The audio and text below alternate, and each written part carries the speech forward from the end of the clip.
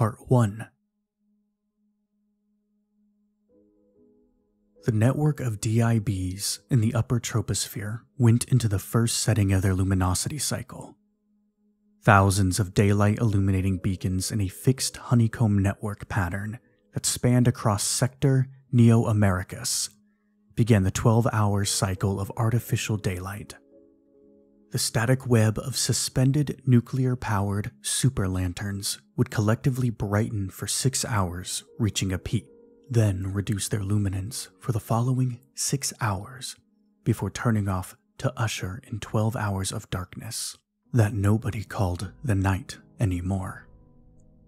Sector Neo Americus, a marvel of technology and engineered social order, stood cleaved into what remained of two continents. The old references to Northern and Southern America were regarded as ancient now, things of the old soul cycles. So too were the oceans, gone and long forgotten, any trace of the recognizable ancient coastlines erased. Present day Sector Neo Americus was reduced to two large artificially lit, interconnected ink blots under the constantly dark skies that were punctuated by sheets of silvery white flashes electric auroras caused by the sea of cybernetic plasma discharges under Sky Shield.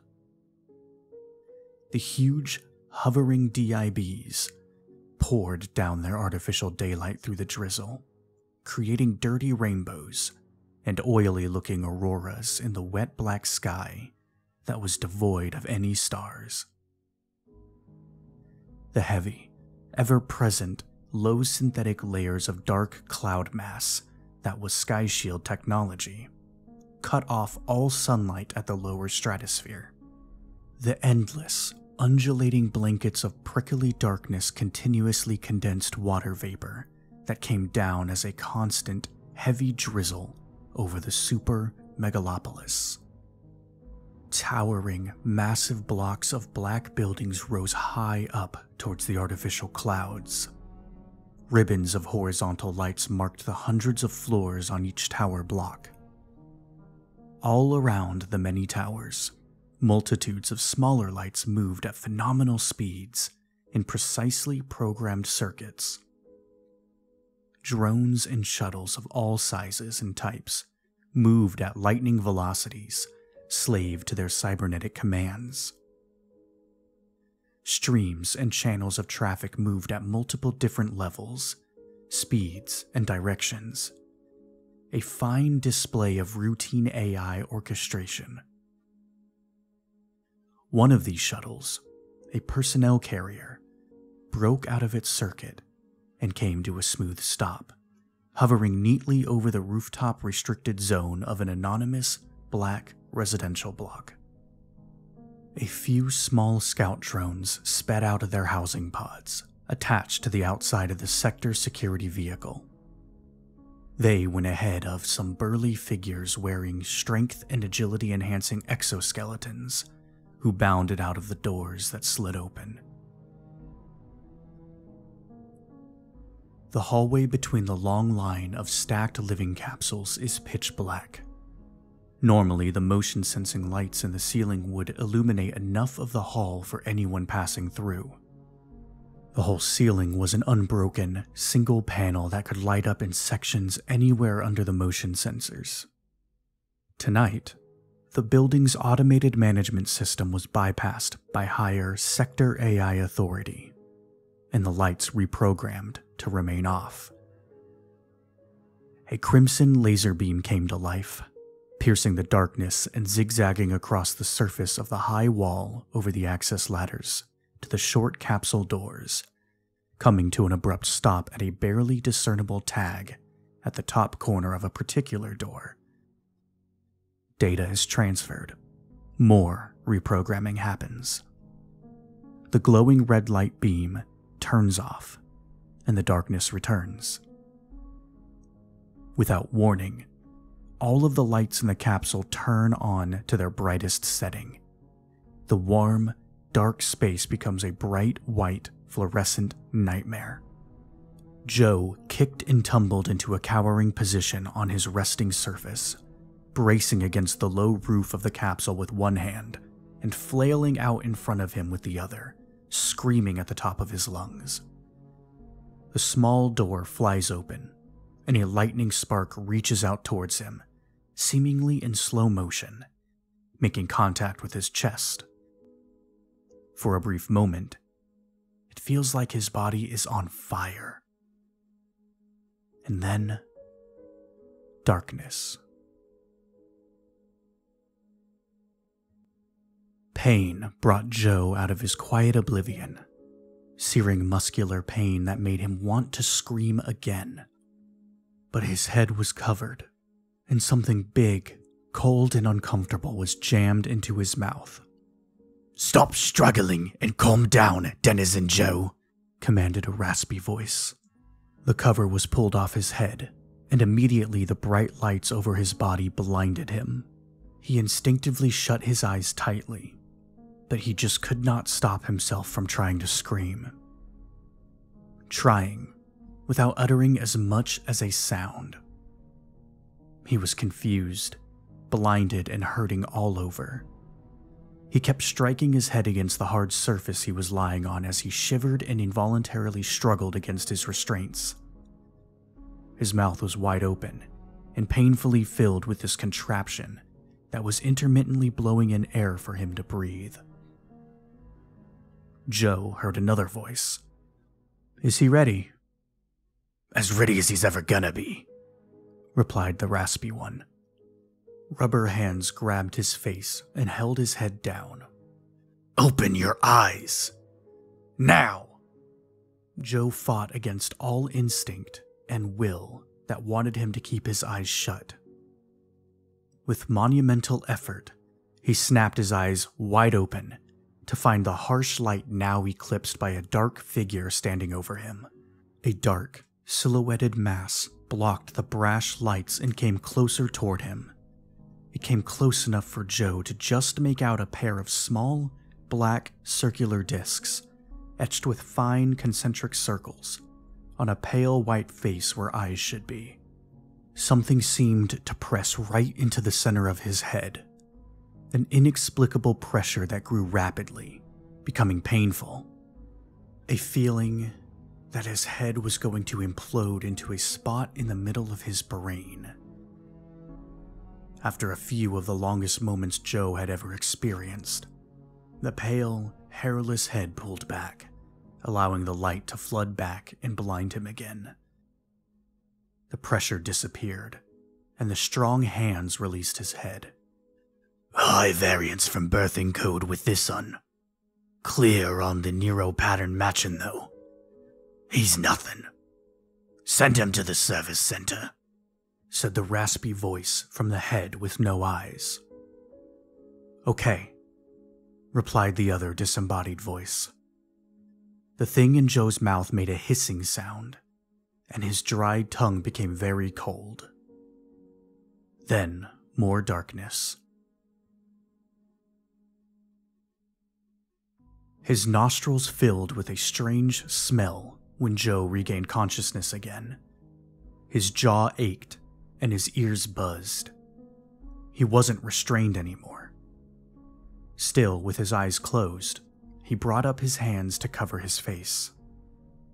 Slowly, he peered through his fingers. The light was dim and gentler here. He couldn't recognize the loose fitting pajama type outfit he was now wearing. Hello, Joe, said a soothing voice that sounded close to him. Everything is all right. Do not be afraid. I'm here to help you. I will stay with you until you feel well. Can you hear me? Joe tried to speak, but nothing came out of his dry mouth and parched throat. His jaw and head hurt so much. Do not worry yourself about speaking. I can see that you are having trouble.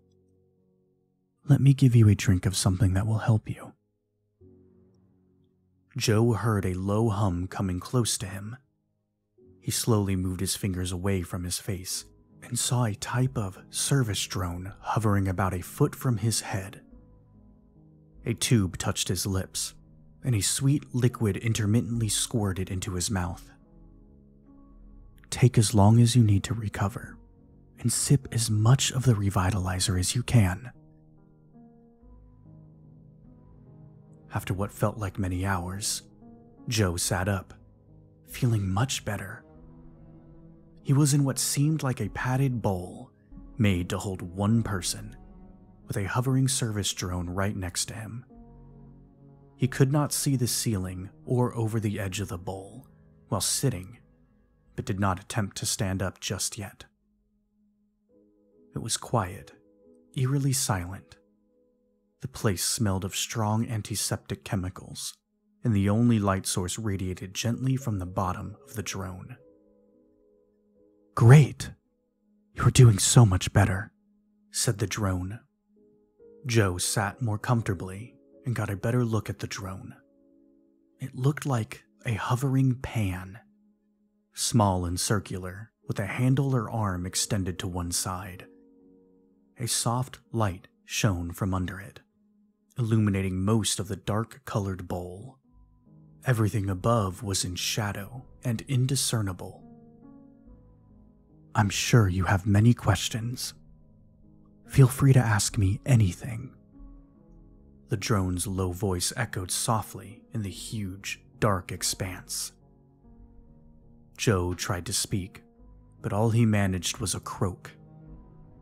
His voice broke, and he became overcome with emotion. It is okay, Joe. Lie down again and rest some more. I will begin telling you some things that will help make sense of what has happened. A silvery, flexible telescopic tube reached out from the arm of the drone and touched his lips again. While lying in a fetal position, crying softly, Joe sipped more of the sweet liquid while listening to the calming voice of the drone. You are currently at the Sector Peace and Security Denizen Service Center in one of the recovery shells. The peacekeeping agents have detained and interrogated you. There was reason to believe that you had access to some information that you were carrying in your cranial safe deposit data vault. The direct, mind probing interrogation found you clear and innocent. Part 2 Joe made plans and scheduled a personal visit and consultation at one of the few white buildings in Sector Neo Americus. It was a huge, prism shaped structure with drone landing zones on the roof and at ground level around the massive jewel in the darkness. With all of his work and personal supplies delivered to him, Joe rarely had any need to leave his living capsule. Something had changed, though. He felt compelled, like he was on a quest to uncover something he didn't quite know or understand yet. Joe entered the building from the Denizen Transportation Pod platform and walked across the large foyer to the long row of turnstiles. The place is filled with various people and androids, each focused on their destination, either into or out of the building. Even with so much activity in the open foyer, it is quiet the sound dampening technology successfully filters out footsteps, drone hums, and everything louder than a whisper. As Joe approaches one of the turnstiles, a green beam briefly flickers across his face. Welcome to your appointment at the Chrysalis Institute, Denizen Joe. You are entering an environment that uses perception altering nanites. You are in good hands with us read a scrolling message across the large monitor display just above the entrance. The turnstile moved around as he approached, allowing him entrance. On the other side, Joe found himself walking down a short, narrow passage to a door at the end. As he neared the door, it opened to reveal a space of indeterminate dimensions that led into a virtual rainforest. It was all exquisitely projected with nanotized sensory cues. He could smell, touch, and hear the forest. If he focused just right, he could taste the freshness in the cool air. Some tropical birds overhead were squawking and squealing loudly. Insects buzzed, and everything was punctuated by the gentle murmuring of a distant stream. He continued walking forward, taking in as much as he could of this private experience designed just for him. A hologram of a picture perfect nurse appeared and was projected slightly to his right with a bright, beaming, perfect smile. Hello, Denizen Joe, and welcome to the Chrysalis Institute. How are you feeling this morning? said the hologram nurse. The air smelled like the ground after a summer rain, a scent that Joe had never experienced before. Calmness flowed through Joe's mind and body. I can't remember how I felt before I came in. I just know that I feel great now, Joe replied. They both laughed. The gorgeous fake birds squawked and flew across the beautiful fake sky. Well, that is not a surprise, Denizen Joe. The nanomites in our controlled atmosphere are tailored to specifically get you to your most relaxed and receptive state. You're in good hands with us.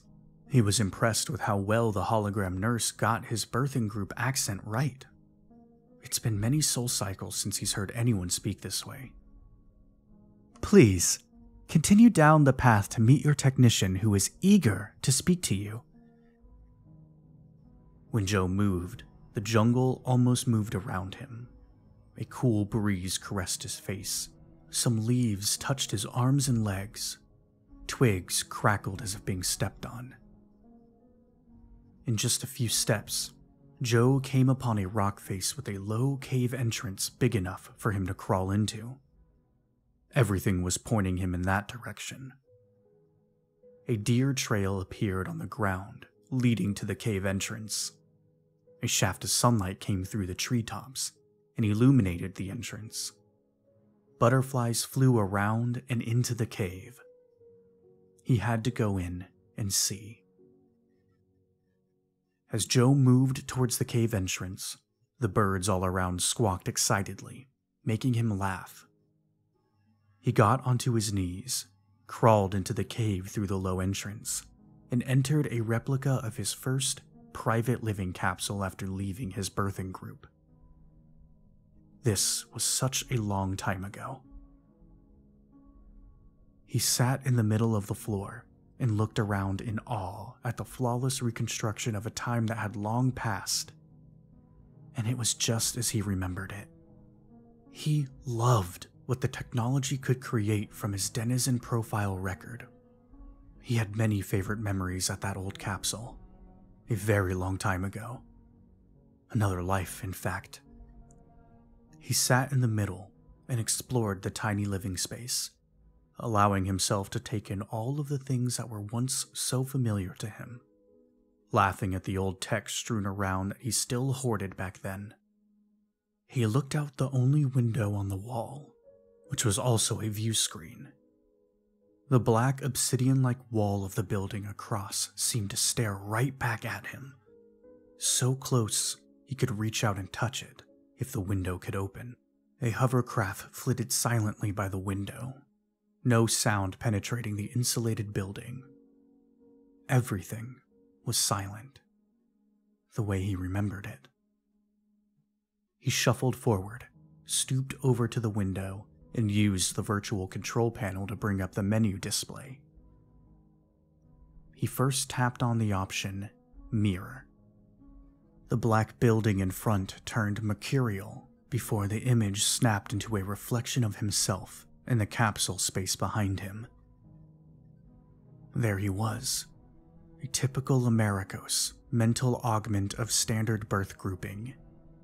A strikingly long, hairless head on a lean set of shoulders. A flat, gleaming rectangular copper plate was embedded into his right temple above his ear. Pasty white skin flesh, the color of albumin, with deep set, large ash gray eyes. Joe scrolled through the still familiar menu options and selected his old favorite audio scenic montage in the view screen mode. The living capsule filled up with the sound of a gushing waterfall and the calls of exotic birds now extinct. Streams of carefully projected rays of sunlight and beams illuminated the space, pouring down from beautiful fake clouds floating across the sky. A sky he's never seen in real life. He increasingly longed for a past he had never known making him feel like an alien in a place and time to which he didn't belong. A gentle voice called his name and brought him out of his nostalgic daydream. He turned around and laughed self consciously. The technician was in the room with him now and said, It's okay, Joe. You can relax here. You're in good hands with us. Please come over and sit down so we can discuss your wishes. Thank you, Joe said as he walked, bent over under the low roof to what used to be his favorite couch, his very first couch that belonged just to him. It was solid and felt exactly as he remembered it. Even a few stains he remembered were replicated, which made him smile. He could not stop looking around, remembering the past and wondering what things in this virtual living capsule were being projected and what were physical props like the couch. He couldn't tell just by looking. The android technician was a mechanical torso, an exquisite replication of an older 20th century woman with graying hair, large black framed glasses, and a warm demeanor about her. Everything was designed just for him. No one looked like this anymore just more reminders of how stuck he was to myths and images from an ancient world. A simple, lightly colored gown covered the technician from her shoulders down to just below her waist. From the waist to the floor, the android technician wasn't supported or attached to anything, but silently hovered at a steady height over the floor. When Joe was seated and comfortable, the technician glided over the slick floor closer to him. At the same time, she lowered herself to a more comfortable height above the ground, suitable for a conversation. After a comfortable silence, the technician says, Tell me all that you wish to say. I will only be listening without interrupting right up until you tell me you have finished. Take as long as you want and say as much as you want. I feel tired and emotional. The only thing that gets me through my day cycles is my mood meds, dialed up to the highest setting. Joe began. I'm struggling with my sector role and have been for some time. It's not merely a matter of stress. I appreciate what the mood meds do for me and all of the sound and light therapy routines during the resting periods.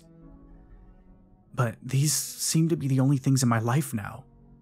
It's all just escapism at this point. I don't feel any kinship among people. Even the members of my birth grouping somehow sensed how different I am and have altogether kept away from me.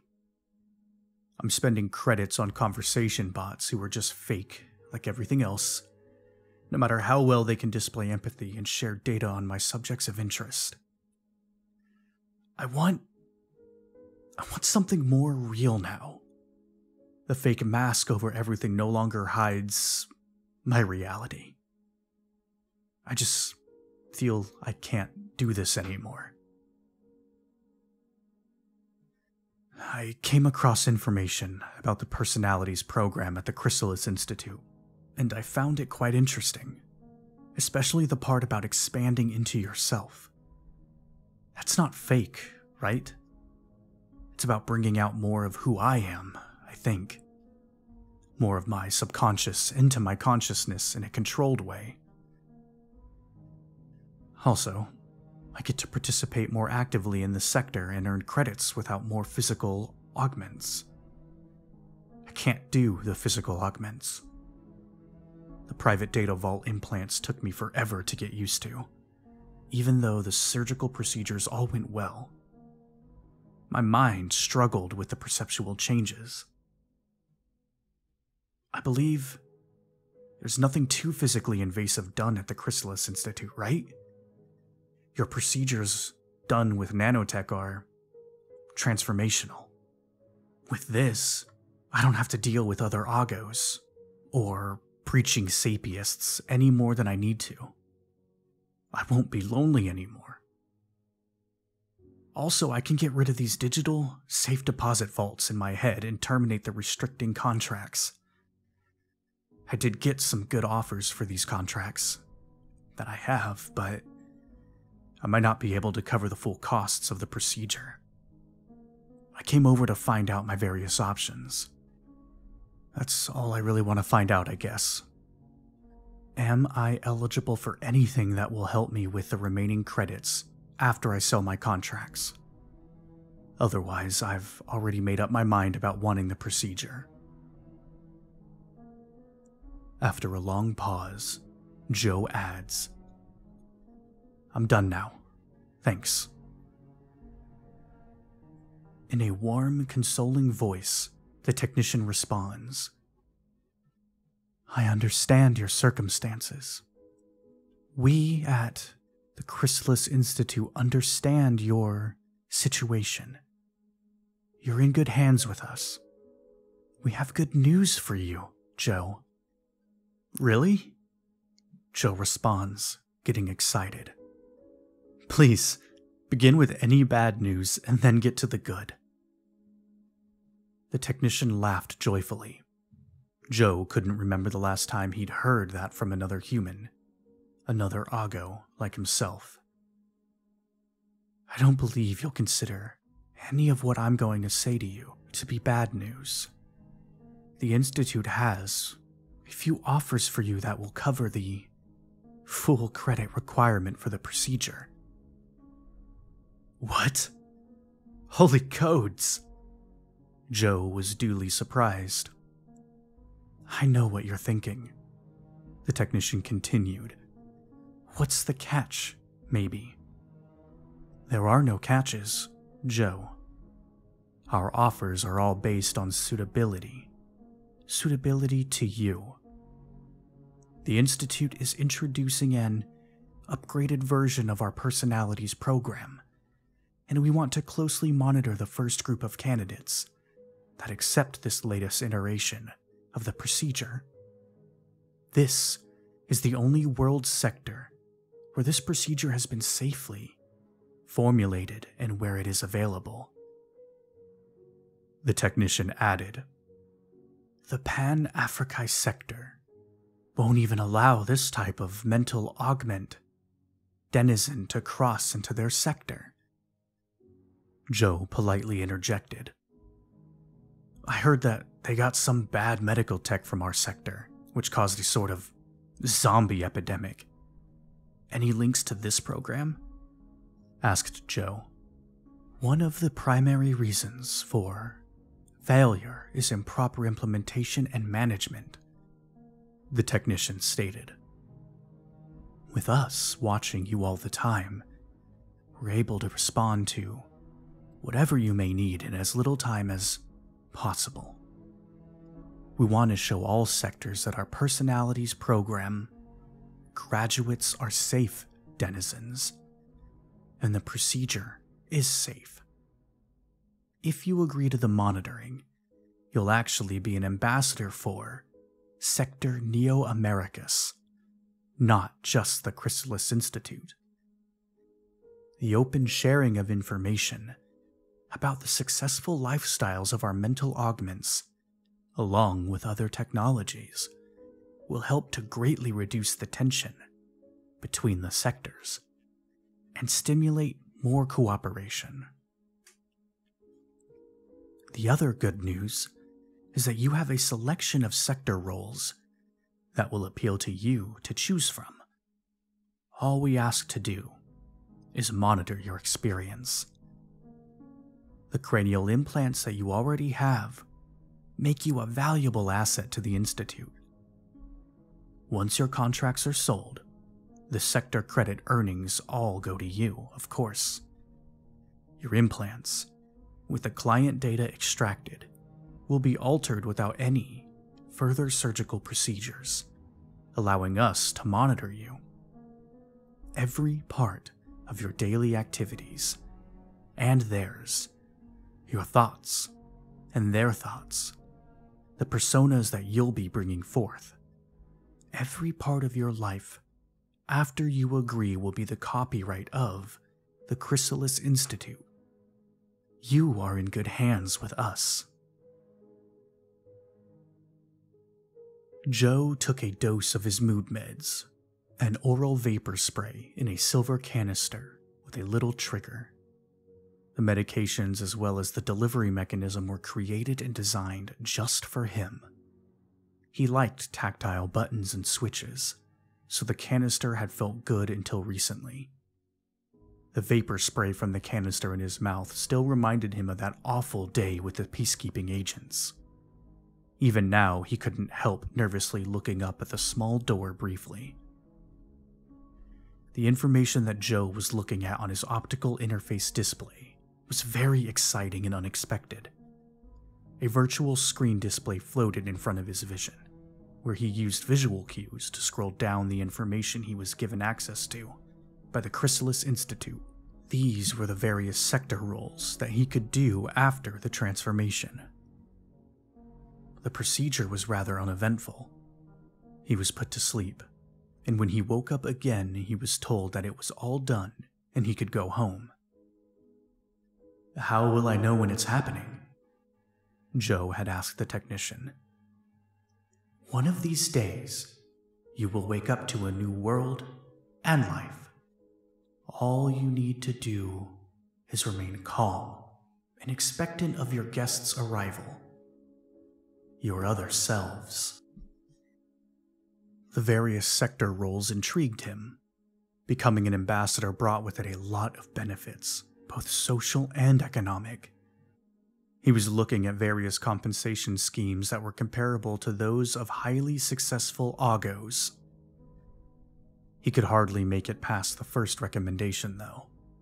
The role's title simply stated Companion. The brief description read Spend time and provide in person company to other augments who are like you, in the service of the Chrysalis Institute and subsidiaries.